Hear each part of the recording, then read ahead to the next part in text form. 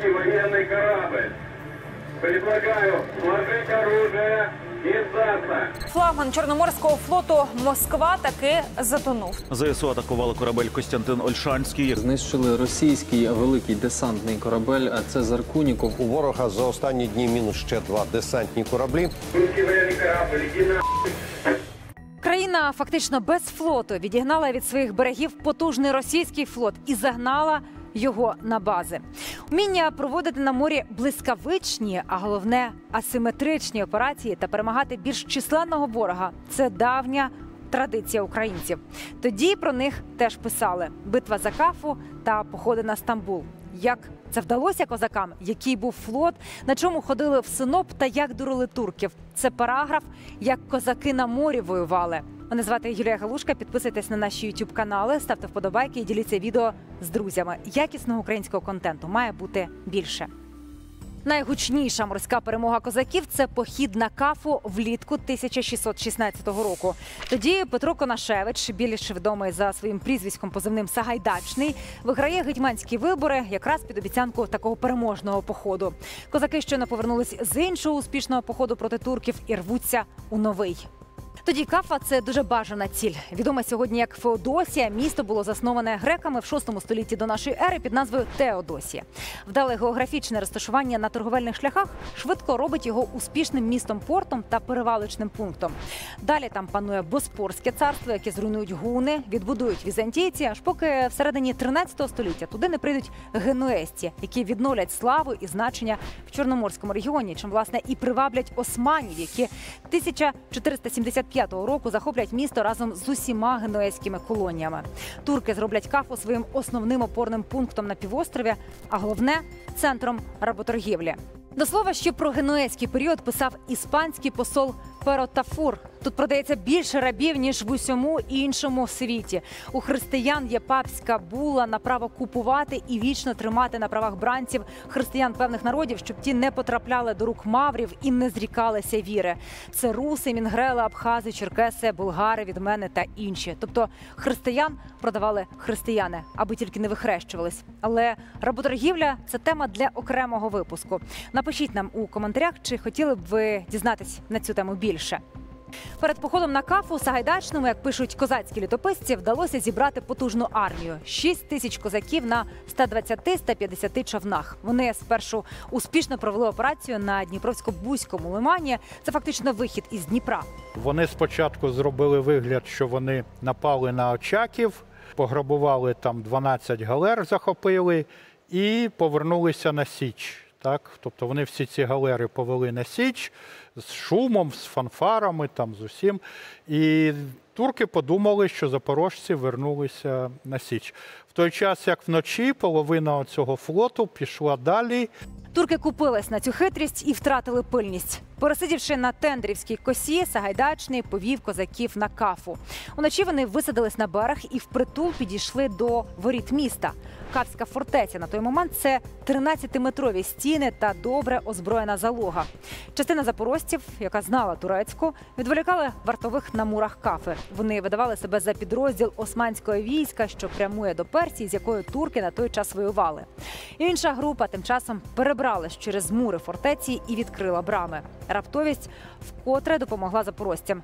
Місто швидко опиняється у їхніх руках. Козаки звільняють невільників і штурмують порт. За різними даними, під час атаки полягло від 5 до 10 тисяч турецьких вояків. А сама кафа надовго втратила значення провідного центру работоргівлі на Чорному морі. Для козаків це був шалений успіх. Вони викидали з цих чайок всяку парчу там і кармазин, е, щоб вивезти невільників. Коли зрозуміли, що або те, або те, е, то вибір був на користь невільників. Ну, оці всі призи, тоді всі армії світу е, цим займалися. Це називалося козацький хліб. Похід на кафу здобув гучну славу не тільки в Україні, адже звільнені були бранці з багатьох країн. Завдяки популярному тогочасному письменнику Касьяну Саковичу, який описав похід, рейтинг Сагайдачного, як сказали б зараз, був захмарним. А тепер нагадаю, саме його ім'я носить флагман сучасного українського флоту фрегат Гетьман Сагайдачний. Щоправда, після початку повномасштабного вторгнення він не на ходу. Він був якраз на ремонті, і щоб не дістався ворогу, його підтопили. Але сподіваюсь, що фрегат ще вийде у море. Та повернімось до епохи козаччини. Тож, коли почалася наша морська ера, перша зафіксована козацька операція датується 1492 роком. Саме того року генуезець Христофор Колумб випадково для себе відкрив Північну Америку. Теж непоганий результат. Козаки ж тоді атакували турецьку галеру під тягинню. Дехто з істориків плутає, думає, що це Бендери на Дністрі, вони теж тягиня. Але ні, це село Тягинка Береславського району е, Херсонської області. Там колись була фортеця. Ну і мій такий здогад, що тягиня це переправа, тому і там, і там вони так називалися. Е, Цей пором на мотузку, який треба було тягати туди-сюди. Протягом наступних майже трьох століть січовики демонстрували свою майстерність на воді. А козаком вважали того, хто був у морському поході. Це десантні операції, які проводили козацькі флотилії наприкінці 18 століття. Це насамперед бої в районі Очакова, за Кінбурнську косу, це е, штурм Хаджибея і ну, найвідоміша подія це штурм Ізмаїла, який без е, козацької флотилії власне був би неможливий. Останній бій козаків як окремої військової потуги, морської, саме морської, це е, 1811 рік, е, російсько-турецька війна під Ізмаїлом. Вони на Дунаї ще воювали з турецькими галерами і перекидали російський десант Кутузова на правий берег Дунаю. Виходить, асиметричність бойових дій це не ноу-хау нинішніх українських ВМС. Бо козаки, хоч і не могли сперечатись з потужними регулярними флотами морських країн, але турків на Чорному морі ганяли. Ось свідчення османського літописця Катіба Челебі про битву біля Карахармана. Козаки вчинили битву такого рівня, що ангели у небесах були в захваті і били браво та були зачаровані від лютості бою. Основними е, ділянками, які найбільше цікавили козаків, це були прибережні зони, це були проливи, це були гирла річок, які давали можливість е, виходити до моря. Говорити про контроль козаків над, е, скажімо так, чорноморськими артеріями, над чорноморськими торгівельними шляхами е, було б не варто, тому що вони, по-перше, собі таку мету не ставили. А по-друге, суперництво з е, турецьким флотом, який на той момент контролював Чорне море у відкритому морі, в принципі, було не під силу козацькому флотові, тому що він мав абсолютно інше призначення. Яким був цей козацький флот? Зі школи кожен українець знає, що козаки пересувались на чайках, причому як на річці, так і на морі. Чайка мала близько 18 метрів довжини, щоглу з вітрилом, 10-15 пар весел та вміщала до 70 людей. Борти обкладали в'язанками очерету завтовшки від півтора до двох з половиною метрів. Виходило щось схоже на рятувальне коло, яке і справді рятувало від ворожих стріл і куль, а ще допомагало утримувати човен на поверхні. На озброєнні чайки було чотири фальконети. Це невеличкі гармати калібром 30 мм, як на сучасних БТРах. Але головною технічною перевагою чайки була її маневреність. Вони не мали корми і носу е, такого вираженого, могли і вперед, і назад рухатися, не розвертаючись. І не мали навісного стерна, мали стернове весло і на носі, і на корми. Цим пояснюється, чому вони вдало долали пороги. Так, тому що, ну як е, ми маємо уявляти, як от рафтінг, всі там грибуть якимись веслами, вони могли вертітися і розвертатися між порогами. Головне призначення чайки транспортування десанту, його мінімальної вогневої підтримки та взяття на абордаж човнів противника. Це такий спосіб ведення морського бою, коли корабель зближується з іншим. Далі відбувається щеплення, і моряки сходяться в рукопашну. А там вже все залежить від вправності абордажної команди. І тут в нагоді ставала саме маневреність чайки в порівнянні з важкими і неповороткими турецькими галерами та галеонами. Вони висліджували галеру, як тільки її бачили, е, рубали щогли, щоб їх було не видно, і слідом йшли за галерою такі невидимі серед хвиль. І на заході сонця вони ну, цілою зграєю атакували галеру з різних сторін. Зненацька для екіпажа галери. Якщо ми будемо говорити про казацький флот, який оперував по рікам, оперував насамперед на Дніпрі, то це будуть байдаки.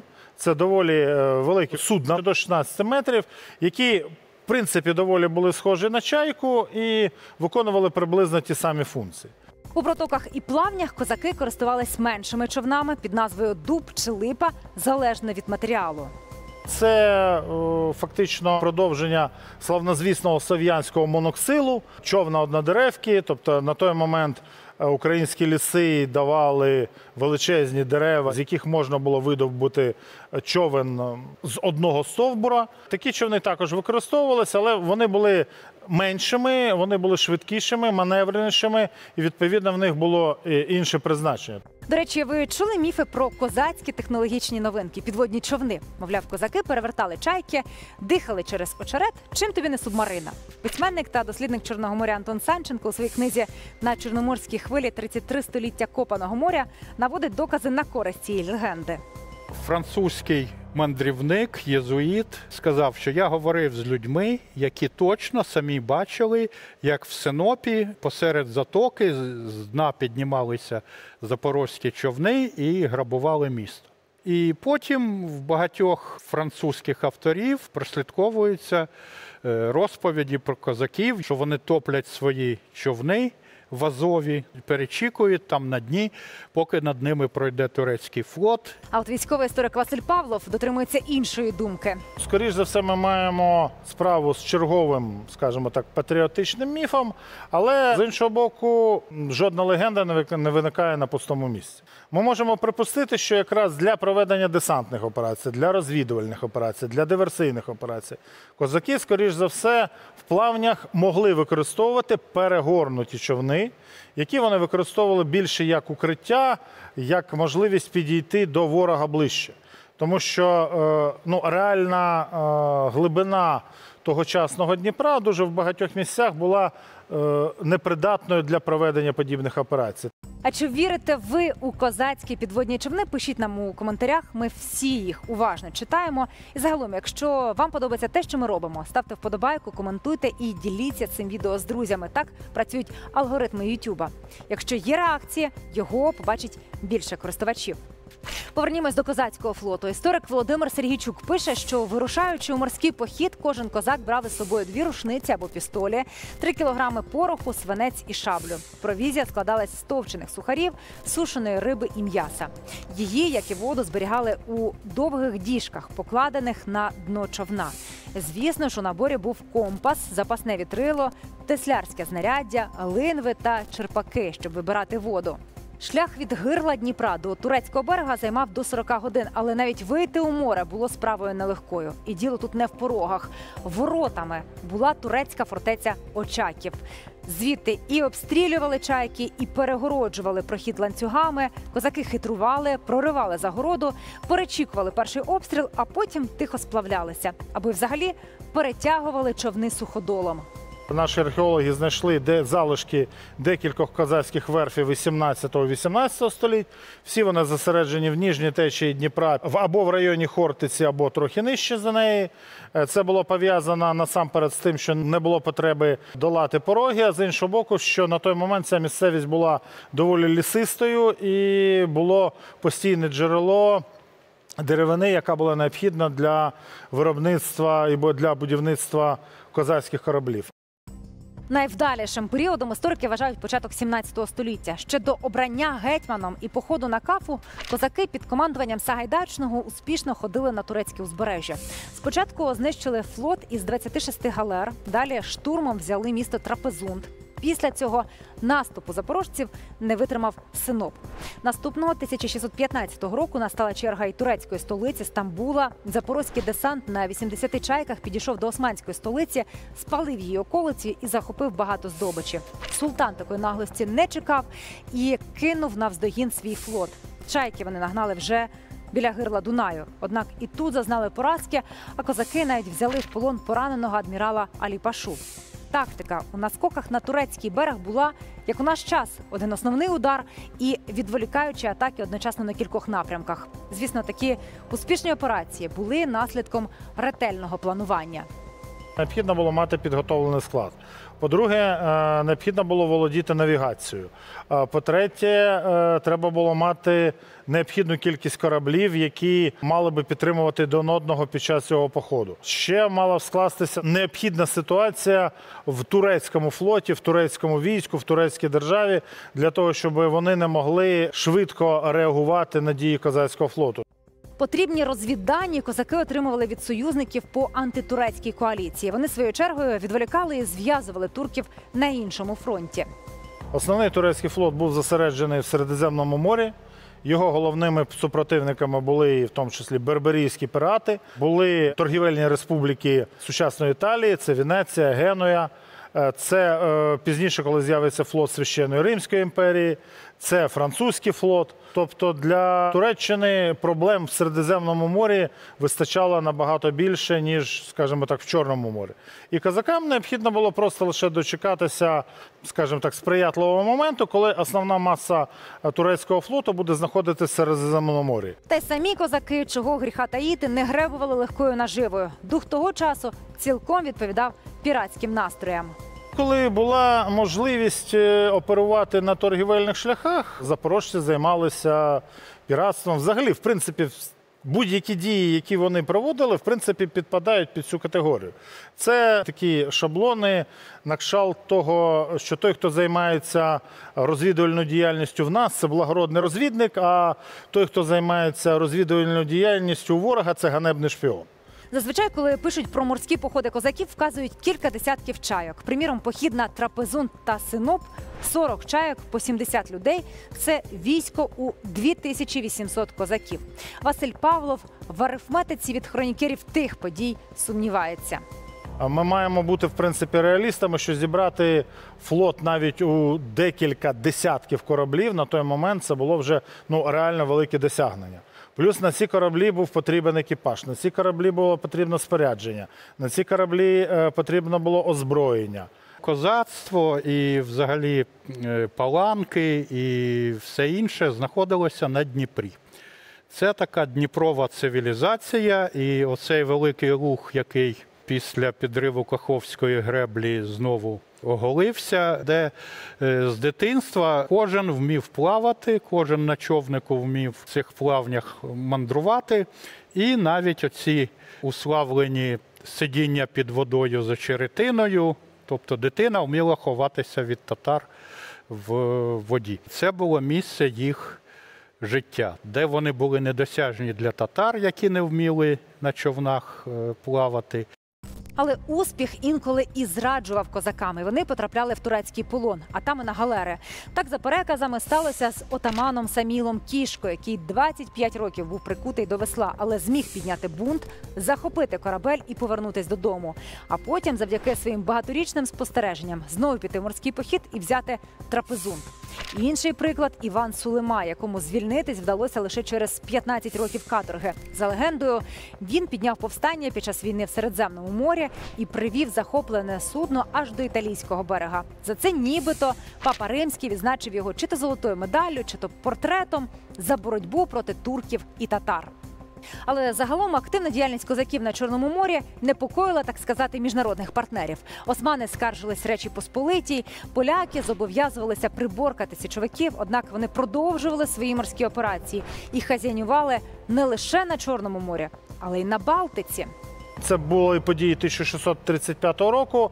Е, На той момент можливості перегнати козацький флот з Дніпра на Балтику не було, і тому було прийнято рішення е, польською короною найняти майстрів, найняти інженерів, використати місцевий потенціал. І було побудовано декілька десятків козацьких чаяк або на їх зразок кораблів в сучасній Литві. І вони були використані в кампанії 1635 року на Балтиці проти шведів. Під час одного з боїв в 1635 році козакам вдалося захопити шведський флагманський корабль, який потім полякам вдалося обміняти на свій флагман, який вони втратили в одному з попередніх боїв. Перша чверть 17 століття була найбільш вдалим часом морської історії козаччини, але далі політична ситуація змінювалась надто швидко, і то козаки з татарами вступали в союз і разом йшли на Московію. У нас, до речі, є параграф про це, зокрема про те, чому козаки не спалили Москву. Попереду була битва під Хотином і угода з османами. Вони припиняли експансію у Європу, а козаки набіги на Крим та Туреччину. Сам Сагайдачний в тій битві дістав поранення і невдовзі у віці всього 40 років помер. Але історія українського флоту на тому не завершилася. Але це вже історія для нового параграфу. Ставте вподобайку і підписуйтесь на наші youtube канали. Ми Україна і власне параграф. Не до зустрічі в новому параграфі.